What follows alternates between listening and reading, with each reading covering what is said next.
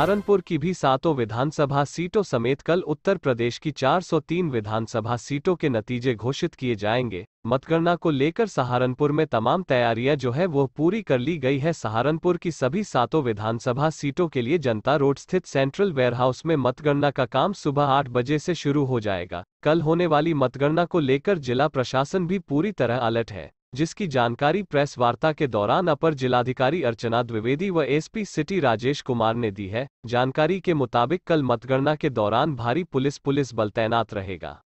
हमारे जनपद में सात विधानसभाएँ हैं। सातों विधानसभाओं को कोविड प्रोटोकॉल के अंतर्गत इस बार दो दो हॉल अलॉट किए गए हैं। प्रत्येक हॉल में सात सात टेबल लगाई जा रही है। सात टेबल के अलावा ये चौदह जो टेबल हो गई, उसके अलावा पीबी की दो दो टेबल और नगर विधानसभा में तीन पीबी की टेबल्स लगाई जा रही हैं। और इसके अलावा तीन स्कैनर लगाए जा रहे हैं, जो कि ई टी की प्री काउंटिंग स्कैनिंग होगी। और सभी पूरी व्यवस्था सुनिश्चित कर ली गई, हमारी सारी तैयारियाँ हो चुकी हैं। हम लोग सारे प्रत्याशियों से संपर्क में है, उनको सारी चीज़ें बताई गई कि एकदम यहाँ पे फेयर ढंग से, निष्पक्ष ढंग से मतगणना सुनिश्चित की जाएगी, कोई भी उनके अंदर भ्रम हो, कोई डाउट हो, कोई अफवाह हो, हम लोगों से संपर्क करें, हम उसको दूर करेंगे। ऐसी कोई स्थिति यहाँ पे हम शांति व्यवस्था के नहीं आने देंगे। बाहर भी हमने लगातार क्यू लगाई है फोर्स लगाई है बैरियर्स लगाए हैं। और वहाँ पे हम लगातार उनसे बातचीत करते रहेंगे और कहीं कहीं कोई ऐसी समस्या आने नहीं देंगे हाँ यही सबसे बड़ी चीज़ आप जो ये बता रही है अफवाह के नाते ही सारी चीज़। जो है जैसे आज अभी एक छोटी सी अफवाह हो गई कि लाइजन ऑप्शन निकल रहा था सोचे कौन सा आदमी निकल रहा है। जबकि वो ऑब्जर्वर का लाइजन ऑप्शन था गाड़ी में भी लाइजन ऑप्शन लिखा था। लेकिन लोगों ने वहाँ से थोड़ा सा हल्ला किया। बाद में उनका भ्रम दूर कर दिया गया। तो इस तरह कोई बात नहीं होगी और इसके अलावा जो हमारा विजयी प्रत्याशी होगा उसको फुल स्कोट करके उसके घर तक पहुँचाया जाएगा पहुँचाया जाएगा सुरक्षित। संबंधित सच्चो जो भी होगा, जो भी विजयी प्रत्याशी होगा, लेके जाएगा। कोई भी विजय जुलूस नहीं निकाला जाएगा पूर्ण प्रतिबंधित है। सभी कैंडिडेट्स को डीएम साहब द्वारा मीटिंग करके बता दिया गया इस बात को। इसके अलावा जो निकटतम हारा हुआ प्रत्याशी होगा, उसको भी हम पुलिस स्कोर्ट में उसके घर तक छोड़ेंगे। सहारनपुर के लिंक रोड स्थित व्यापारी सुरक्षा फोरम संस्थान के कार्यालय पर आयोजित कार्यक्रम में व्यापार मंडल की महानगर इकाई का गठन किया गया। कार्यक्रम को संबोधित करते हुए जिला अध्यक्ष नरेश धीमान ने कहा कि व्यापारियों की सुरक्षा के लिए व्यापार मंडल के महानगर इकाई का गठन किया गया है, जिसमें युवा महानगर के पद पर संजीव शर्मा, दीपक खन्ना को महानगर मंत्री, सिद्धार्थ धीमान को युवा महानगर प्रभारी व मयूर गुप्ता को महानगर संयोजक का दायित्व सौंपा गया। कार्यक्रम के दौरान राजकुमार शर्मा, गौरव कक्कड़, संदीप धीमान व पंकज गगनेजा को वरिष्ठ उपाध्यक्ष मनोनीत किया गया। तो जो हमारी युवा की महानगर इकाई है, जिसके हमारे अध्यक्ष श्री छोटे भाई संदेश खुराना जी हैं, उनकी टीम बहुत अच्छा कार्य कर रही थी। लेकिन उन्होंने अपने और साथियों को इसमें लेकर पुनर्गठन किया है कि हमारा व्यापार मंडल और सक्रिय हो तो ताकि व्यापारी हितों के लिए और अच्छा कार्य कर सकें। मैं इसके लिए अपने महानगर के युवा अध्यक्ष भाई संदेश खुराना जी को बधाई देता हूँ और मेरे साथ यहाँ पर महानगर के अध्यक्ष प्रवीण छावड़ा जी, ज़िले के महामंत्री मनोज ठाकुर जी, महानगर के महामंत्री विजय गुप्ता जी और प्रदीप शर्मा जी, ये उपस्थित हैं। मैं इनका भी आभार व्यक्त करता हूँ और इनसे भी निवेदन करता हूँ कि अपने व्यापार मंडल को और तरक्की दें, नए साथियों को, नए व्यापारियों को इसमें जोड़ें, ताकि व्यापारियों के हितों के लिए हम हमेशा अच्छा कार्य करते रहें।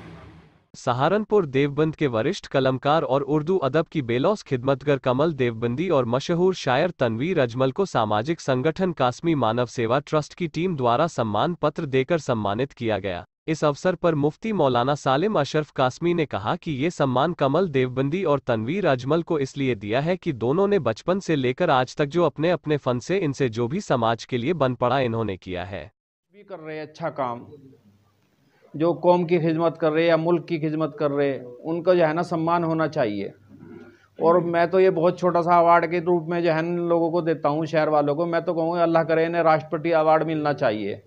जिस नोयत का ये काम करते हैं, वो नोयत जो है मेरे लिए तो ये बहुत छोटा सा अवार्ड है, बहुत छोटी सी बात है। इनके तो बड़े बड़े कारनामे हैं, इनके बड़ों के बड़े कारनामे हैं, और अजमल भाई के बड़े कारनामे हैं, हज़रत मौलाना सालिम अशरफ कासमी पूरी दुनिया में मशहूर हैं, इनके बड़े कारनामे हैं। तो बस इसीलिए अवार्ड देते हैं ताकि ये अच्छा से अच्छा कर सकें। और जब एक अवार्ड मिलता है तो उससे खुशी मिलती है और जो है, आदमी का मनोबल बढ़ता है और वो और अच्छे काम करने की कोशिश करता है। सहारनपुर के पेपर मिल रोड स्थित केंद्रीय लुगदी एवं कागज़ अनुसंधान संस्थान सहारनपुर द्वारा अंतर्राष्ट्रीय महिला दिवस का आयोजन किया गया। कार्यक्रम की मुख्य अतिथि सेवा इंडिया की public relation officer Neena Dhingra रहीं। उन्होंने महिलाओं को उनके अधिकारों की जानकारी दी एवं महिलाओं से जुड़े अनेक प्रकार के मुद्दों पर भी चर्चा की। कार्यक्रम में वरिष्ठ वैज्ञानिक डॉक्टर प्रीति शिवहरे लाल एवं डॉक्टर कवलजीत सिंह ने अपने विचार रखे तथा संस्थान के महिला छात्र एवं कर्मचारियों को आगे बढ़ने के लिए प्रेरित किया। मेरे लिए भी बहुत सौभाग्य का होता है जब जब मैं यहाँ पे आती हूँ तो इस सब के लिए मैं आप सबका हृदय की गहराइयों से आभार व्यक्त करती हूँ कि आप मुझे मौका देते हो आप लोगों के बीच में आने का। आ, बाकी अगर मैं बात करूँ इंटरनेशनल डे फॉर वुमेन है आज कब से शुरू हुआ तो ये सब आप पढ़े लिखे लोग हैं ये जितनी लड़कियाँ बैठी हैं ये सब नेट से भी हैं इंटरनेट पे सब देखती हैं। लेकिन ये चीज़ भी देखी होगी कि जब भी जब ये शुरू हुआ या कोई भी नई चीज़ और अच्छी चीज़ की शुरुआत होती है तो संघर्ष हमेशा उसके साथ जुड़ा होता है। और वो संघर्ष भी कोई ऐसा छोटा नहीं होता, लंबा होता है।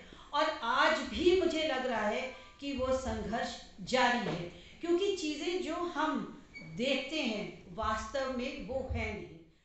सहारनपुर में नगरायुक्त ज्ञानेंद्र सिंह के निर्देश पर सहारनपुर स्वच्छ सर्वेक्षण 2022 में सहारनपुर को नंबर वन पर लाने के लिए आज वार्ड अड़सठ आली आहंग्रान में गुलशन पब्लिक स्कूल से छात्र छात्राओं द्वारा एक रैली निकाली गई, जिसमें नगर निगम के स्वास्थ्य अधिकारी डॉक्टर कुणाल जैन व सफ़ाई निरीक्षक आनंद कुमार ने हरी झंडी दिखाकर रैली को रवाना किया। कि ये हमारा सिटीजन फीडबैक है कैसा है, कितने नंबर आप देना चाहेंगे, सब चीज़ है।